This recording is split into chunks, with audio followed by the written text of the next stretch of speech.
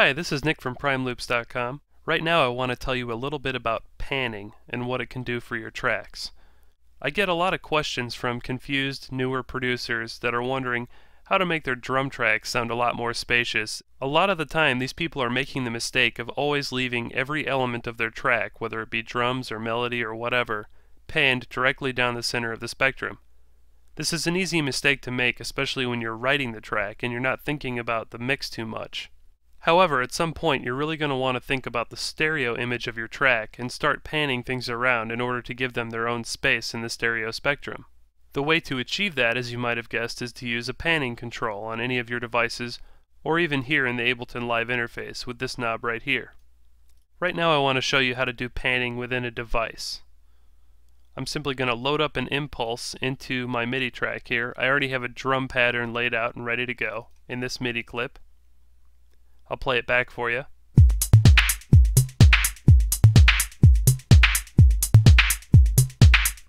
As you can hear, things are generally pretty well balanced volume-wise, but everything is panned dead center, and so some of the elements are clashing with each other a bit. A great way to get around this problem and make your mix sound a lot more professional is to pay attention to panning the individual elements of your drum track in a logical way. I'll double click here and you can see the individual drums that make up my kit. As you can see as I click through each one of them, they are indeed panned dead center. The main thing to consider when you're doing basic panning is to pan certain elements of the track in ways that play off of other elements. Now when I was playing this back, I noticed that these two tom drums are playing off of one another in kind of a call and response fashion.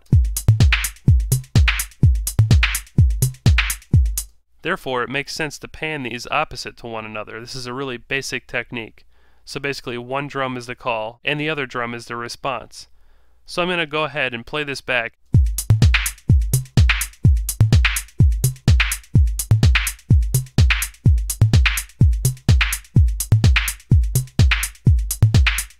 Now already panning those two sounds in such a subtle way made a very big difference in terms of the stereo spread on the track.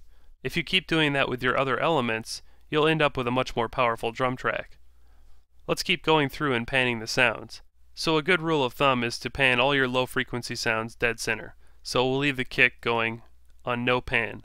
Next I want to focus on the percussion and the hi-hat sounds. They're triggering at almost opposite times to one another and therefore it makes sense to pan them opposite to one another as well.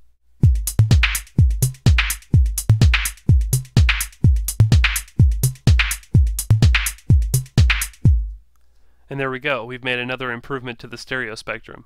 I panned the percussion 11 left, and the hi-hat only 9 right. Last but not least, I want to pan the shaker and the snare away from one another because they seem to be doing somewhat of a call and response as well.